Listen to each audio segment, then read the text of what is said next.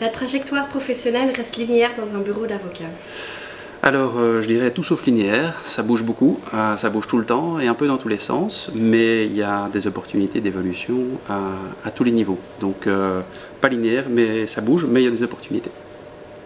Combiner vie professionnelle et vie privée est une illusion euh, non, et j'en suis la preuve vivante puisque je suis papa, je suis marié, j'ai trois enfants.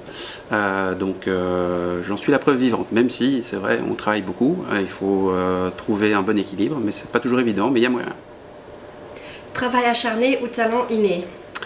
Alors, je ne parlerai pas de moi-même en tous les cas, mais je dirais euh, sans doute, enfin même certainement un peu des deux. Il faut beaucoup travailler, il n'y a rien à faire, puisque c'est des matières qui évoluent constamment. Et en même temps, il faut euh, une combinaison de, de qualités humaines, puisque on a, ce qui est très important, c'est le contact client, et en même temps, des qualités techniques pour gérer la matière. Tax, hot or not? Tax, definitely hot, extremely hot, avec des développements à tous les niveaux, ça bouge énormément. Business development ou carnet d'adresse euh, Là aussi, euh, les deux, puisque le carnet d'adresse, on peut l'avoir euh, entre guillemets par chance dès le départ, mais souvent ça se construit via le business development.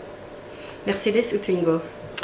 Un peu de tout et moi je dirais même pour ce qui me concerne un petit scooter donc tous les moyens de transport sont les bienvenus chez l'UNS.